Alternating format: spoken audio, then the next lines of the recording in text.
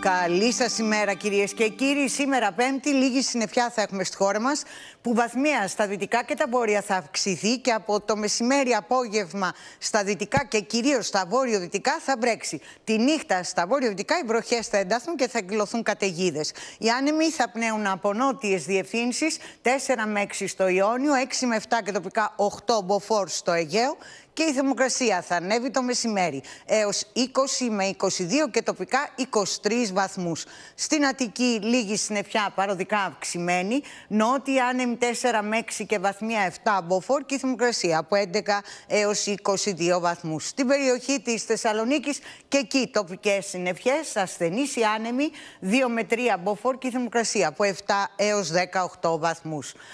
την Παρασκευή τώρα βροχές και σποραδικές καταιγίδες αρχικά στα δυτικά και τα βόρεια και βαθμία στην υπόλοιπη χώρα Εκτός ίσως από τις νότιες κυκλάδες και την Κρήτη. Χιόνια θα πέσουν στα ορεινά, τα βόρειο-δυτικά ή μειωρινά. Οι άνεμοι θα πνέουν από νότιες διευθύνσεις. Η έντασή τους στο Αιγαίο, ε, στα πελάγια 7 και στο βόρειο Αιγαίο τοπικά 8 μποφόρ. Και η θερμοκρασία την Παρασκευή θα σημειώσει πτώση στα κεντρικά και τα βόρεια και κυρίως στα βόρεια. Κυρίες και κύριοι, καλή σας ημέρα.